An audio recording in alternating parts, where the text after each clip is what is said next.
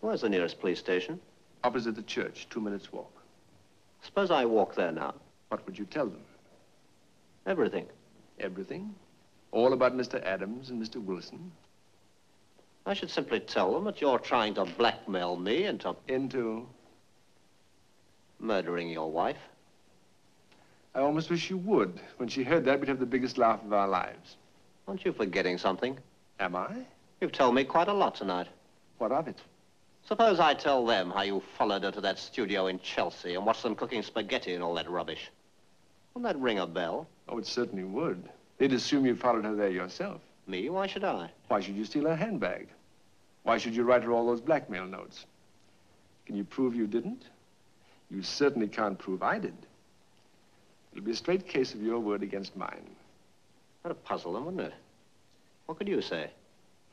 I should simply say that you came here tonight half drunk and uh, tried to borrow money on the strength that we were at college together. When I refused, you mentioned something about a letter belonging to my wife. As far as I could make out, you're trying to sell it to me. I gave you what money I had, and you gave me the letter. It has your fingerprints on it, remember? Then you said if I went to the police, you'd tell some crazy story about my wanting you to murder my wife. But before you go any further, old boy, do consider the inconvenience. You see, I'm quite well known, and there'd be pictures of you as well. And sooner or later, there'd be a deputation of landladies and lodgers who would step forward to testify to your character.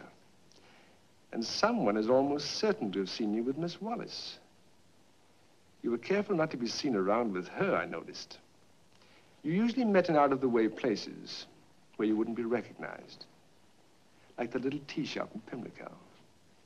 That was her idea, not mine. Yes, it was a bit crummy, wasn't it? Hardly the place to take Mrs. Van Dorn. By the way, does Mrs. Van Dorn know about Mr. Adams and Mr. Wilson and Miss Wallace?